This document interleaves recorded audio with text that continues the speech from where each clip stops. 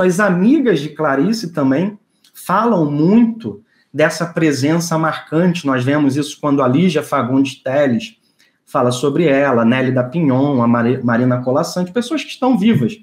A Lígia, inclusive, conta uma história muito engraçada. Elas foram para Bogotá, Colômbia, foram para um congresso de literatura. Ainda não é o famoso congresso de bruxaria que a Clarice vai lá.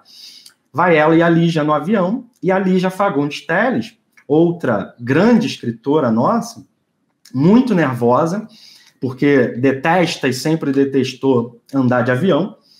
E aí começa uma turbulência e a Lígia Fagundes Teles se desespera, né? Meu Deus, meu Deus, será que a gente vai morrer? E a Clarice, que está sentada do lado dela, fala assim, com, aquela, com aquele sotaque né, dela, com aquela voz, Lígia, não se preocupe, porque eu fui a minha cartomante e ela disse que eu vou morrer numa cama.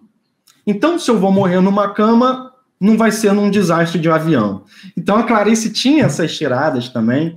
Ela gosta, gostava muito de astrologia, numerologia, de cartomancia, tudo isso fazia parte das coisas que a alimentavam. Mas era também uma mulher que muito pouco se revelava.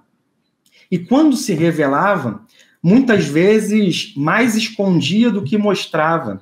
Muitas vezes, inclusive, alterava próprias coisas dela, próprios fatos, ela alterava, mascarava, contava outras versões que não eram reais, que também era uma certa forma dela se proteger, ela não gostava desse movimento de, de que adentrassem a sua intimidade.